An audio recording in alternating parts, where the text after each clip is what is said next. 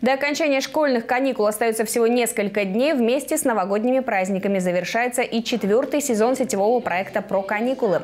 За время зимних каникул в нем уже приняли участие более 300 детей разного возраста. Каждый нашел развлечение на свой вкус. Ребята участвуют в театрализованных представлениях, мастер-классах, литературных и юмористических играх.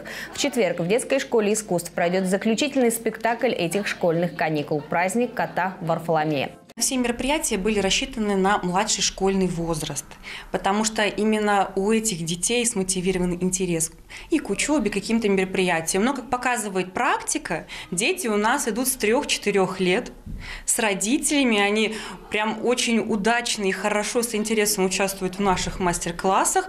Ну и, конечно же, взрослые детки у нас тоже к нам приходят, и особенно им нравится участвовать непосредственно в мероприятиях, быть активными их участниками.